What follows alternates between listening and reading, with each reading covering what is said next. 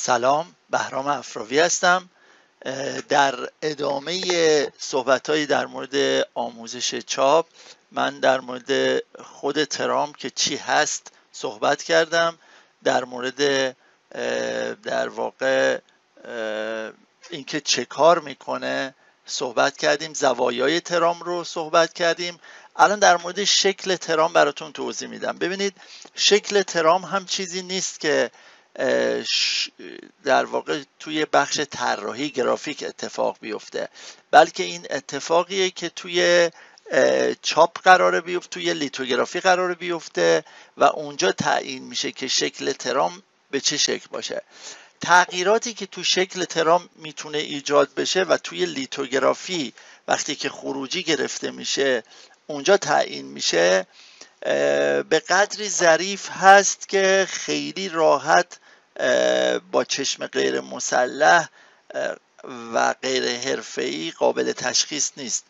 اما من یک کلیاتی راجع به اینکه شکل ترام چی هست و چه کاری انجام میده براتون میگم و در قسمت های بعدی باز میریم روی ادامه قضیه. ببینید الان ما شکلهای ترام به این شکل داریم که چارزلیه ببینید ترام ها رو اگر با لوپ نگاه کنیم با ذره چاپ نگاه کنیم به این شکل دیده میشه. این یه شکل فانتزیه که از شکل ترام در واقع ایجاد شده.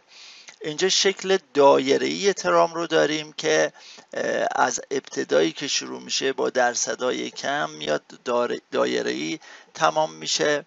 ما یه اتفاقی داریم توی چاپ به نام اپتیکال بامپ در واقع شاید بخوایم ترجمهش کنیم. بشه تغییرات ناگهانی. تغییرات ناگهانی مثلا زمان چاپ یا نوری یا هر چیز دیگه اینجوری اسمشو بخوایم بذاریم. اون یعنی چی؟ یعنی اینکه شما زمانی که ترام ها در سلول های خودشون اینا ببینید هر کدوم یه دات هستن که توی سلول ترام قرار دارن. یه ترام هایی هستن که توی سلول قرار دارن. اینها یک جایی با همدیگه تاچ می‌کنن.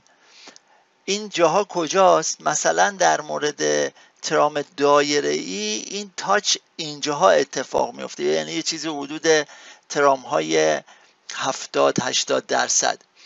ببینید یه چیزی رو من قبلا یه اشاره بهش کردم ولی بعد هم دوباره در موردش میگم که ما یه اندازه ترام داریم و یک درصد ترام اینا با هم فرق می‌کنن و براتون توضیح خواهم داد در ویدیوهای بعدی.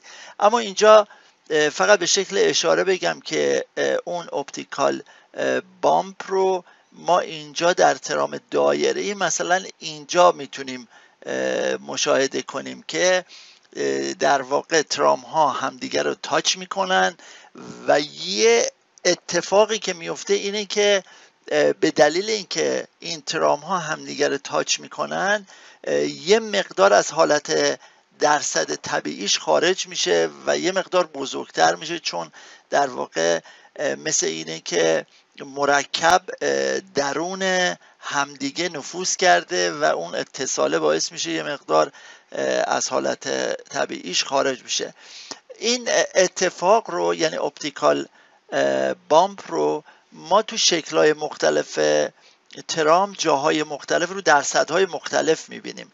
تفاوت این شکل ترام در واقع توی این قسمت و توی زرافت ها و تفاوت های خیلی جزئیه که ایجاد میشه.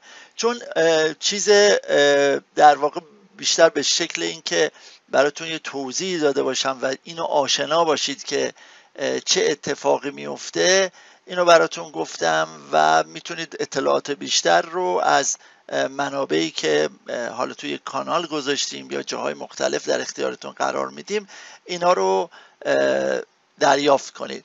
ما ترام های خطی داریم که باز به این شکل می‌بینید. ترام دایره مربع داریم که از دایره در واقع شروع میشه میاد و به مربع کشیده میشه.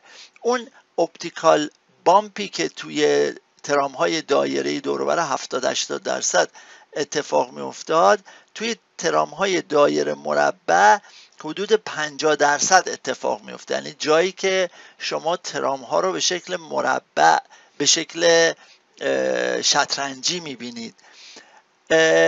همینجا اشاره کنم به اینکه اکثر ترامگذاری ها یا شکل ترام هایی که توی کارهای چاپی ما می‌بینیم به شکل دایره مربع هست یعنی راند سکوئر هست.